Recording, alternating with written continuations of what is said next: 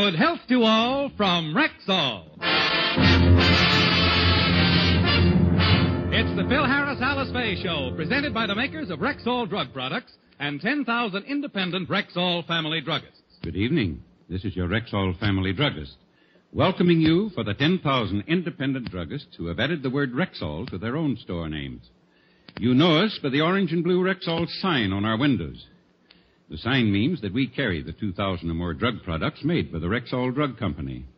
Each one scientifically compounded to do a job for you. Take Rexall's famous mouthwash, MI31, as an example. MI31 is the designation of a special antiseptic formula that kills contacted germs in a matter of seconds when used full strength, yet will not harm delicate membranes of the mouth and throat. Uncompromising quality like this is what we family druggists are talking about when we tell you you can depend on any drug product that bears the name Rexall.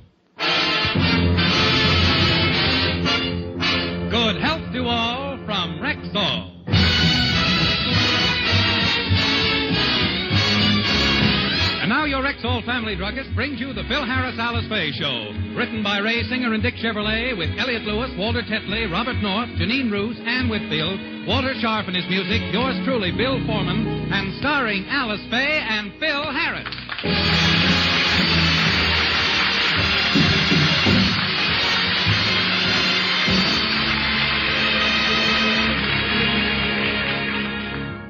Recently, we have seen the revival of many fads that were popular 20 years ago, such as the square dance, long skirts, short hair, and now the ukulele. It's been a windfall for Frankie Remley, as he's an expert on the uke and has been giving lessons to all the youngsters in town. Now, look, I've been teaching you this tune for three weeks. Now, a one, a two. Five foot two, eyes of blue, but oh, what those five No, feet no, could do no, has Curly, really five- It's too high. It is not too high. Then why is your nose bleeding? Five foot two, eyes of blue, but oh, what those five feet could do has anybody seen my gal? Curly, no. Turned up nose. Curly, no. You're fighting me. You haven't got it right. What do you mean I haven't got it right? Are you going to try to tell me how to play the ukulele? That's my business. Why, 20 years ago, I was the rage of Nashville, Tennessee. I was known as Yuki Harris. ah, those were the happy days. I'll never forget my theme song. Egypt must be heaven, cause my mummy came from there. Or, Or. Pull up the awning, Mother. Daddy's leading a shady life. Or. or, yeah, I know. Just take it easy, flaming youth. We don't play it that way nowadays. Oh, what do you know? Hey, Alice, honey. How'd you like the way I did the tune? Oh, I thought it was the cat's pajamas. Are you through with your lesson, strumming, Sam? Yes, I'm through. Good. Now take off your blazer and I'll hang it up with your raccoon coat. What are you fellas trying to prove with these ukulele lessons? It's a fad with the teenagers. Yeah. All us kids are taking it up. Kids. You two are kids? Of course. A guy's no older than he feels. Inside, where it counts, we're young. Outside, where it shows you're old. you two have done a lot of infantile things in your time, but don't you think this is overdoing it a little? Taking up the ukulele at your age. Well, what's the matter with that? I don't see nothing wrong with it. Oh, you don't see anything. Oh, Phil, how stupid can a grown man get? Good morning, Philip. I give you Exhibit A. Oh, Francis, I'm glad you're here. Maybe you can help me with a song I'm learning to play on my ukulele. Oh, Willie, don't tell me you've taken up the uke, too. Well, hasn't everybody? It's a fad that's sweeping the country. How you doing with it, Willie? Oh, splendidly. Uh, Philip, give me a uke and I'll show you. Oh, no, you don't. It's my uke, and nobody's going to play it but me. Well, Is it, is it in tune? Is it in tune? You're talking to a guy with perfect pitch. Hit a glass or something. No, never bother.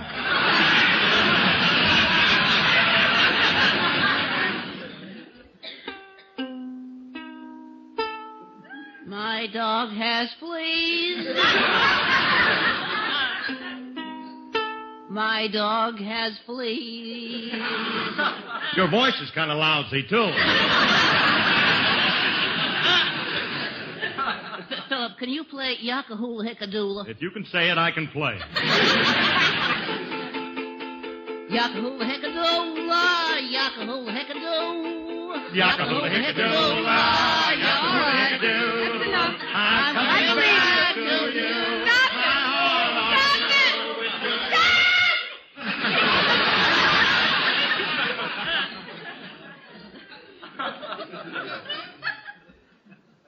gee whiz. Somebody say something. We're standing here like a bunch of dopes. Who's lining? Alice, that was the song I was going to sing at the Halloween party. What Halloween party? Well, we're having a masquerade at the club. What co- what costume are you wearing, Willie? Well, I'm undecided. I could wear a leopard skin and go as Tarzan, or I could pad my shoulders and go as Superman. Why don't you lather your head and go as a short beard?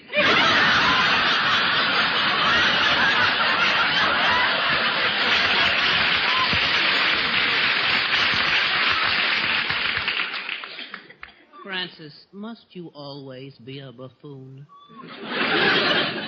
there are times when you should be serious. There are occasions that don't call for a funny answer, and I feel this is one of them. I get one crummy joke in a half an hour, and he hates me for it. Say, Willie, I have an idea. Why don't you go as a Canadian mounted policeman? Why, why that's a splendid suggestion. It certainly is. Let's help him, Curly. I'll go over and get him a policeman's outfit. And I'll take him down to taxidermist and have him mounted.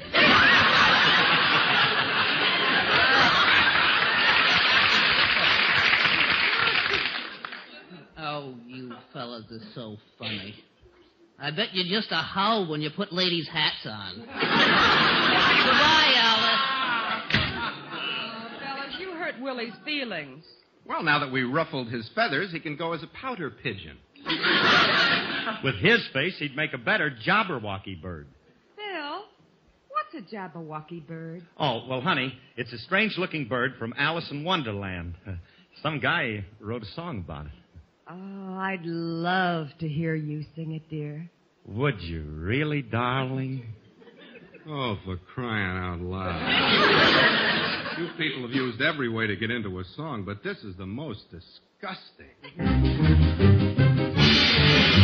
One time there was a mountaineer who felt so mighty brave, he took his trusty gun and went to a dark, dark cave. The reason for his venture was a story that he'd heard about a bad, ferocious creature called the Jabberwocky bird. Now, when he got into that dreary cave, our hunter saw a sight. The Jabberwock had seven heads, and each one was a fright. He turned around and headed home, running all the way. And to all the folks who waited there, the mountaineer did say, With Ridley, Gander, Slithy, Toasted, Gyre, and Gimble in the wave, Old Mimsy were the borogoves and the Mommy Massoff Grabe. Oh, Frabjous Day, Kalukalay, and frumious Bandersnatch. My aim was foiled by seven heads, but that bird I will catch. Then back again into that cave that mountaineer did go. But how he'd finally get that bird, he really didn't know. This time the mountaineer was armed with knives and traps and bait. He had to catch that Jabberwocker, meet a sorry fate. Inside the cave, that gruesome bird confronted him once more.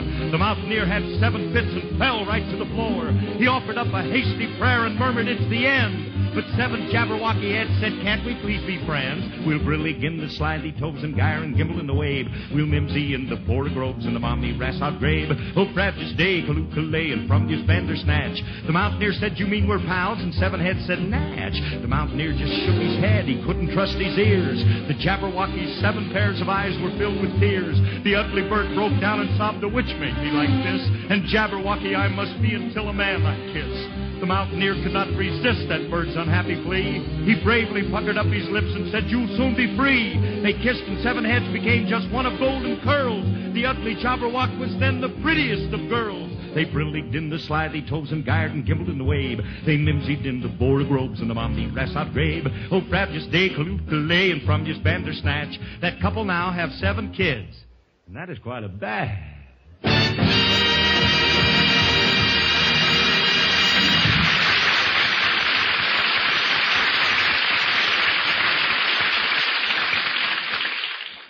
Well, if you're through vocalizing, we'll get on with the ukulele lesson. All right, Frankie, okay. Hey, let's run over that hot tune that we were rehearsing. You ready? Yeah. One, two.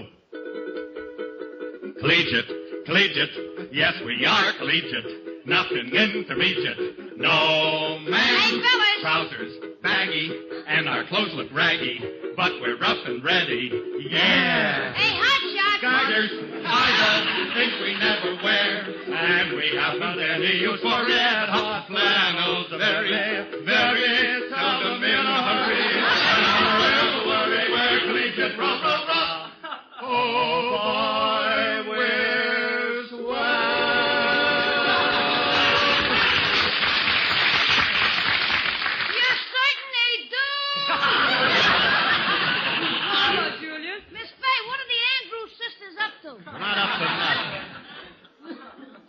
I was just singing, and I asked Frankie to join in.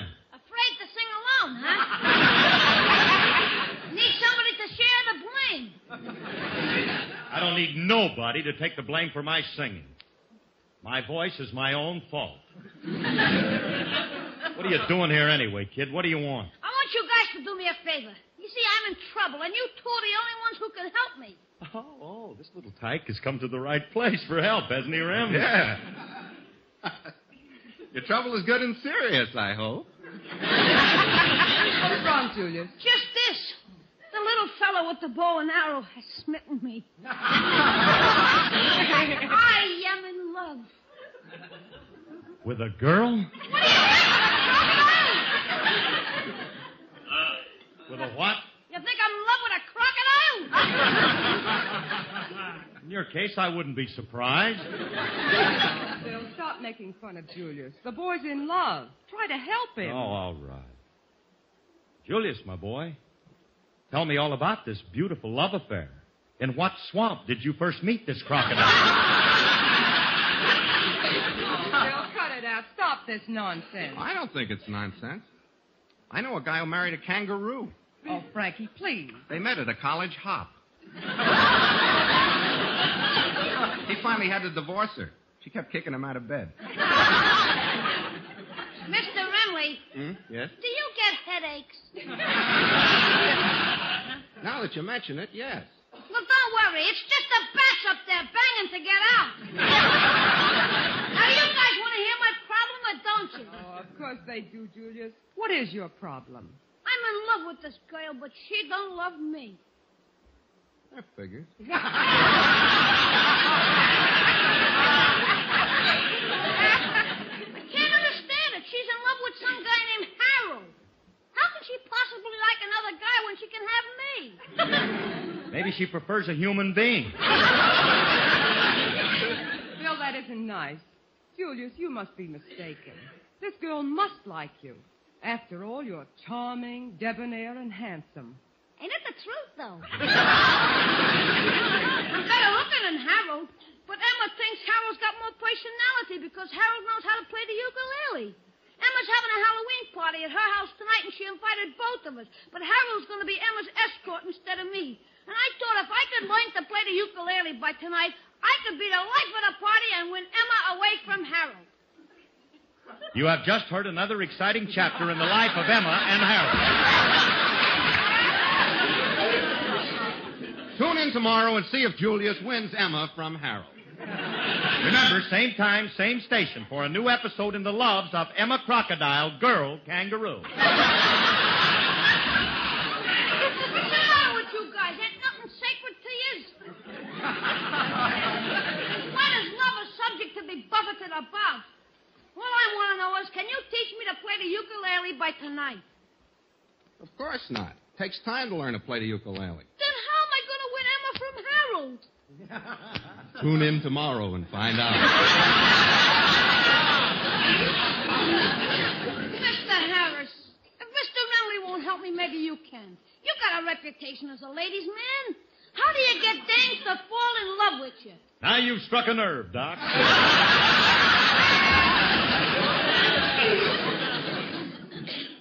Used to be my business. I thought you said ukulele playing was your business. Well, that was a subsidiary of the main enterprise. Now then, Julius, uh, my boy, uh, what is your problem? How many times do I have to tell you? I'm in love with Lillian, but she's in love with Sam.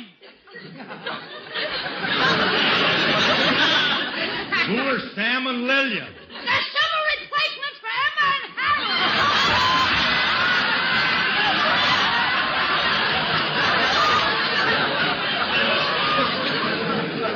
I got tired of hearing those two names.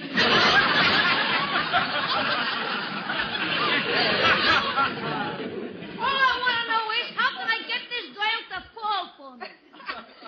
My boy, my advice to you is to move in with your in-laws.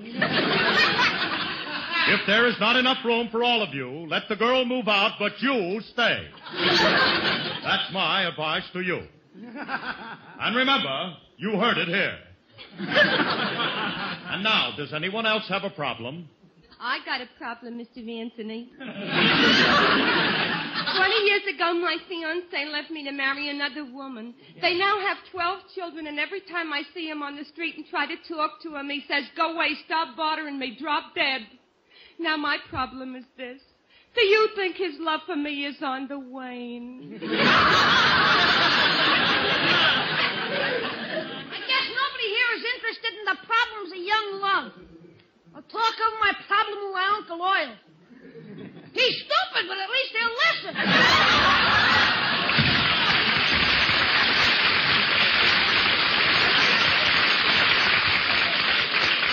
Well, his feelings were hurt. Oh, he's going to get over it. Don't worry. I don't know. I don't know. A boy's first love is a very serious affair. Alice is right. I'll never forget my first love affair. Gee, she was cute. She had red hair, blue eyes, and gold braces on her teeth. I wore braces, too. Oh, that must have been romantic. It was. Every time we kissed, it looked like two bear traps snapping.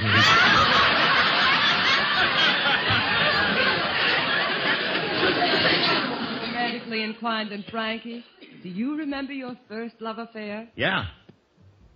Yeah. yeah. She was a little honey. It was her first love affair, too. Her first and her last. How do you know it was her last? It had to be. Anything after me, honey, is camping out. yep. When I left that kid, she just gave up.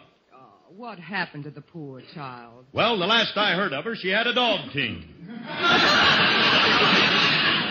she was hauling blubber to Admiral Byrd. You know, you should have helped Julius. After all, he thought enough of you to come to you for advice, and you should be flattered. Yeah. That's funny. I, I never thought of it that way. You know something, Frankie? She's right. After all, we ought to try to help that little kid somehow. Yeah, maybe we should. Doing a good turn for somebody makes you feel good inside. After all, we can't go through life tormenting Julius. We gotta lend a helping hand sometime, and now is the time to do it. Oh, my scoutmaster will love me for this. All right, Frankie, come on. Look, I'll tell you what we'll do. We'll call Julius and tell him that we'll meet him at the party tonight and help him promote his romance, Okay. huh? Hey, Alice, we don't have a lead in for your song, so just sing.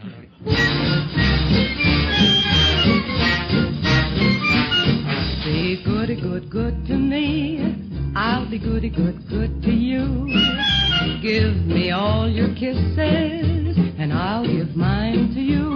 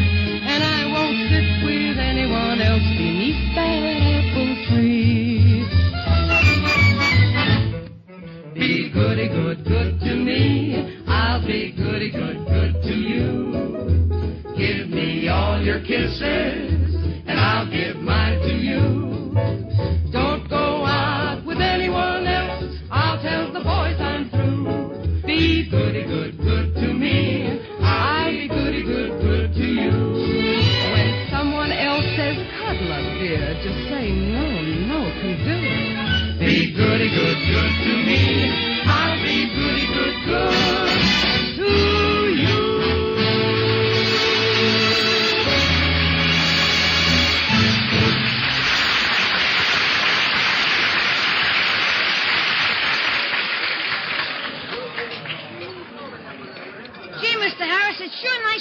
Curly to come over to the party and help me. Ah, that's all right, kid. And look, kid, hey, we got a great plan for you. Now, look, you take this ukulele and then get Emma out in the garden, you know, where it's where it's dark, and then and then serenade her. I told you I can't play the uke. Well, you won't have to. All you do is fake it. I'll be playing my uke. Tell me, kid, where's a good place for me to hide in the garden? Behind the hedges. Oh, that's great. And look, Julius, I'm going to help too. So while Frankie plays, you see, I'll serenade her. Now, where do you want me to hide while I'm singing? The bottom of the swimming pool is a good spot. Thanks just the same, Mr. Harris, but you don't have a very romantic voice. What are you talking about? There are only two great romantic baritones in the country me and Vaughn Monroe.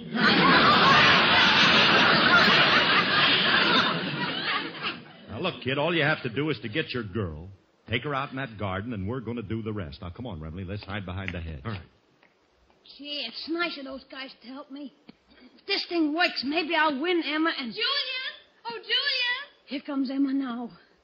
Be quiet, my little heart. Hello, Emma. How would you like to go for a walk in the garden with me? Oh, I'm sorry, Julius, but I can't leave my guest. That's why I came to see you. I want you to take Poodles for a walk. Here's the leash. But Emma, I wanted to take you out for a walk. Maybe later. Thank you, Julius. Everything happens to me. Instead of Emma, I get to walk with an Irish setter. Quiet, Boots. Shut up! Come on, I'll walk you. Why couldn't you be Emma? Then I could tell you what I think of you. I tell you, you're the most wonderful girl I'll ever seen in all my life. You think we'll have to wait, Curly? I'm getting awful chilly standing out here. You see any sign of Julius and his girl yet? No. It's too dark out here to see anything, but I know that they. Hey, wait a minute. What is it? I hear something. Somebody's Someday, coming. Emma, I hope to make you mine. Yeah, that's it. Yeah. I'm tired of walking. I'm going to sit down. You sit down, too. I said sit down, you funny looking mutt.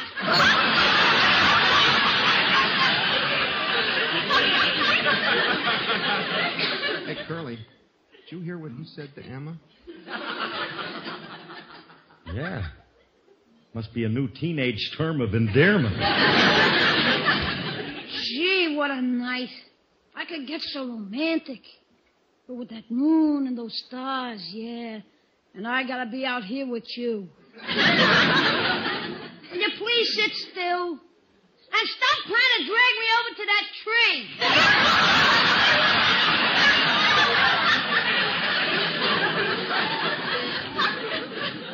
She's trying to. Maybe there's a hammock out there.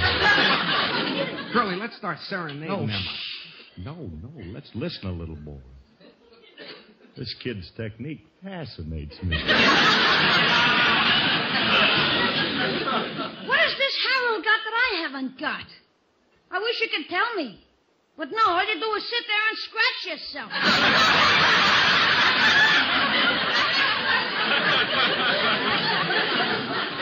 when was the last time you had a bath?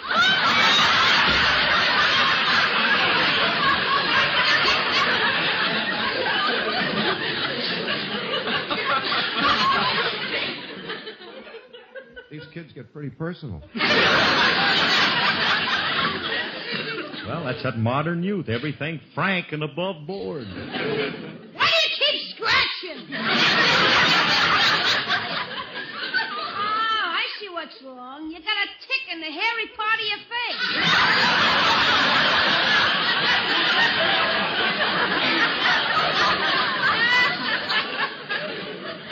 Emma don't sound very entrancing. Pretty sloppy hostess. Least she could do is shave. There you are, girl. Now that I removed the tick, you feel better, huh?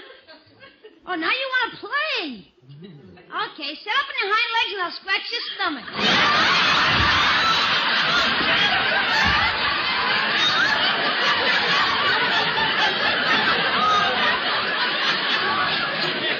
Curly, now is the time.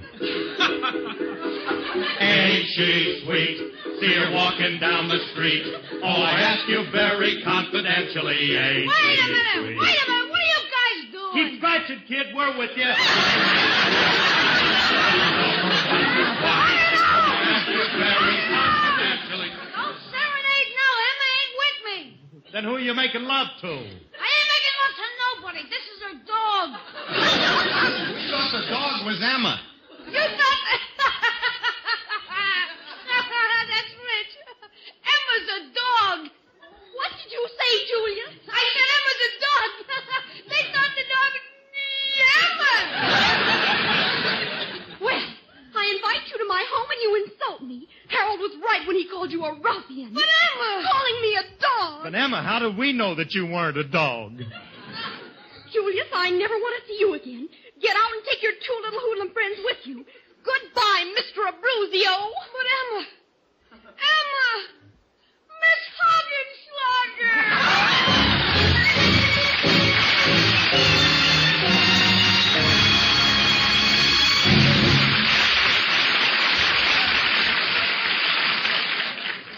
Alice and Phil will be back in just a moment. But first, here's your Rexall family druggist. Sometimes when a customer asks me to recommend a brand of aspirin, I, I wish I could show them one of the tests given Rexall aspirin. Why? What is it? Well, uh, two glass tubes are filled with ordinary water. Now, at exactly the same instant, a Rexall aspirin tablet is dropped into one tube, and a tablet by any one of Rexall's famous competitors is dropped into the other. Then you see an interesting thing happen. The Rexall aspirin tablet disintegrates long before it reaches the bottom of its tube. What does that mean? Well, ma'am, it means that when swallowed with water, Rexall aspirin disintegrates before it even reaches your stomach. Now, the faster its rate of disintegration, the faster an aspirin tablet can go to work for you. And that's why it's important for you to know that by laboratory test, Rexall aspirin disintegrates completely faster than any other leading brand tested. Golly, I'll remember that. And remember this also.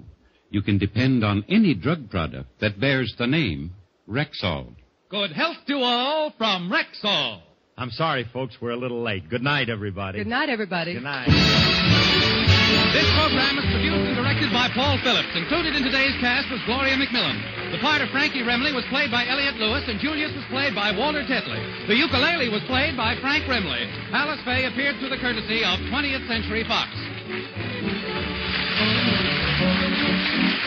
Here's still another example of Rexall's creed of always a little better quality, always a little more quantity. Rexall Milk of Magnesia gives you one third more for your money. Here's what I mean. Many other leading brands of Milk of Magnesia come in 9 or 12 ounce bottles. But Rexall gives you 16 ounces, a full pint, and at the same price as competing brands of smaller quantity. Yes, Rexall Milk of Magnesia gives you one third more for your money. Ask for it wherever you see the orange and blue Rexall sign on the window. And remember, you can depend on any drug product that bears the name Rexall.